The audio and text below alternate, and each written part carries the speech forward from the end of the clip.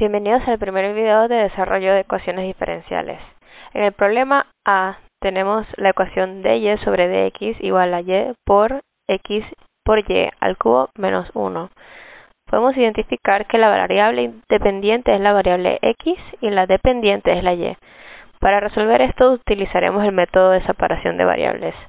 La ecuación es de primer orden y de la forma dy sobre dx igual a f entre paréntesis x, y.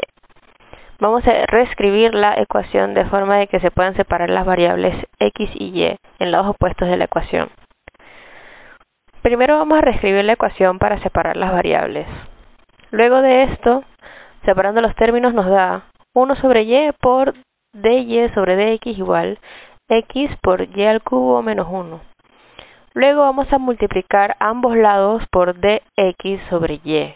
Y esto nos va a dar igual a dy sobre y igual a abre paréntesis x por y al cubo menos 1, cierra paréntesis por dx.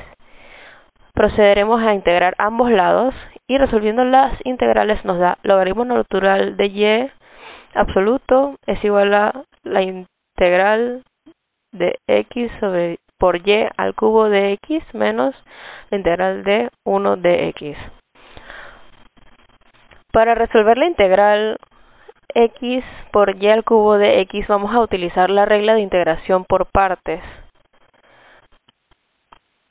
Simplificaremos sin calcular entonces eh, explícitamente la integral de x por y al cubo.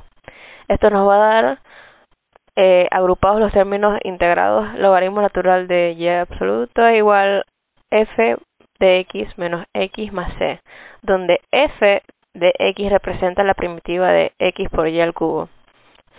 Esto nos implica que tenemos una solución implícita de la forma y igual a e a la f de x menos x más c, donde f de x es una función a determinar y c es la constante de integración.